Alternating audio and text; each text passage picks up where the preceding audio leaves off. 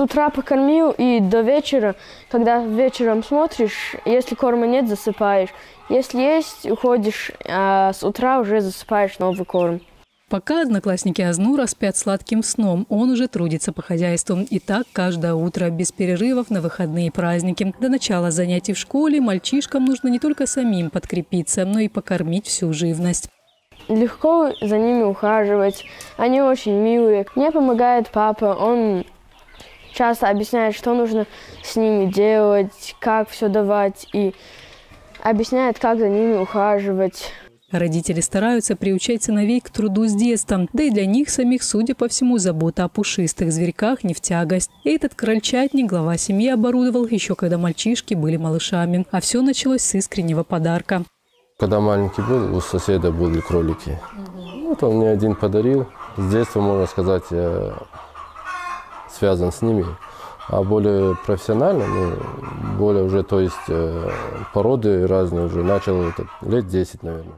Помимо кроликов и кур в хозяйстве Лиевых есть и небольшое стадо овец. Сейчас они находятся на выпасе в горах, поэтому работы немного поубавилось. Но в скором времени нужно будет обрабатывать огород, а в саду поспеет урожай фруктов. А значит, снова нужно засучить рукава, ведь, как известно, один летний день весь год кормит.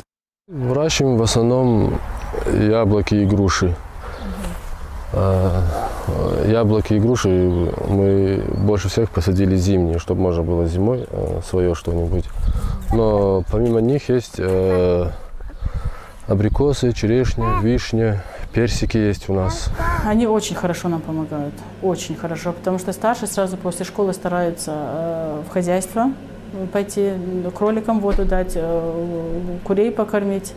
А младшие тоже с нами. Если мы в огород, они с нами. Если мы э, в хозяйстве, они тоже с нами. Мы э, стараемся э, их не нагружать, а им показывать примером. Они, мне кажется, еще больше запоминают, когда примером им даешь.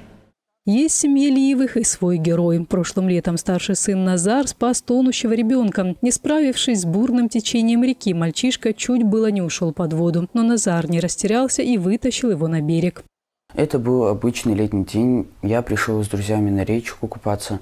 И в один момент я сидел на береге и услышал крик матери. Посмотрев в речку, я увидел тонущего ребенка. Без раздумий я прыгнул в воду, а, обогатил его на свое плечо и благополучно вы, вынес ребенка на берег. Выразить благодарность и поздравить юного героя приехал начальник главного управления МЧС по Карачаево-Черкесии Александр Голоколинга, сенатор Крым Казаноков, представители администрации поселка и района. Они вручили юному герою награду председателя Совета Федерации Валентина Матвиенко, медаль за проявленное мужество. О своих достижениях семья Лиевых написала в анкете, которую отправила для участия во всероссийском конкурсе «Семья года». По итогам финала Северокавказского федерального округа их признали победителями победителями в одной из пяти номинаций. Нам диплом вручили, там подарки. И теперь в последующем мы будем участвовать на федеральном уровне, всероссийский конкурс, тоже, тоже все то же самое, но уже всероссийский конкурс. Там уже и Министерство труда и защиты, защиты да? Социального, социального развития России уже там уже там уже будут э, в Москве проводить конкурс. Лиевы с нетерпением ждут этой поездки и надеются, что в их семейной летописи появится еще одна запись о том, что они признаны лучшей семьей страны. Каким будет очередное конкурсное испытание, они не знают, но уверены, что смогут достойно показать себя и свою республику.